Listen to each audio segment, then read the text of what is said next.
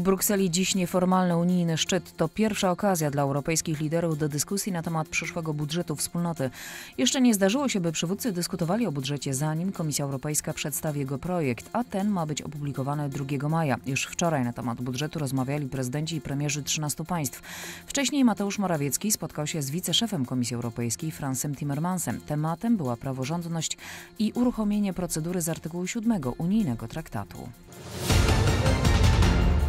Senator Waldemar Bonkowski został zawieszony w prawach członka partii PiS oraz klubu parlamentarnego. Powodem tej decyzji była publikacja antysemickich treści.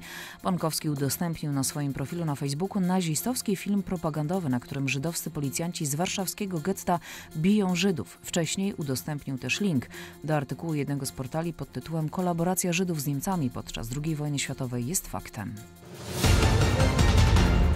Liczba ofiar ataków we wschodniej Gucie w Syrii wzrosła do 400. Zaprowadzono od pięciu dni bombardowanie ostrzał artyleryjskie rejonu kontrolowanego przez rebeliantów odpowiadają siły rządowe. Rosję za wspieranie syryjskich sił skrytykowały Stany Zjednoczone. ONZ już dwa dni temu ostrzegała, że sytuacja wymyka się spod kontroli.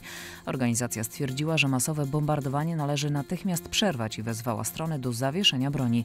ONZ zaapelowała też o umożliwienie dostarczenia pomocy humanitarnej dla setek chorych i rannych ludzi.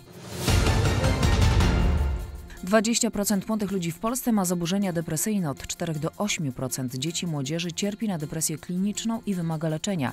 Dziś Światowy Dzień Walki z tą chorobą. Wiele czynników wpływa na powstawanie zaburzeń depresyjnych.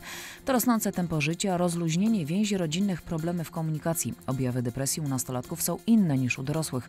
U młodych ludzi występuje rozdrażnienie, złość, agresja, problemy z nauką. Młody człowiek wycofuje się z życia, izoluje, traci sens życia. Jedna na 20 prób samobójczych kończy się śmiercią śmiercią.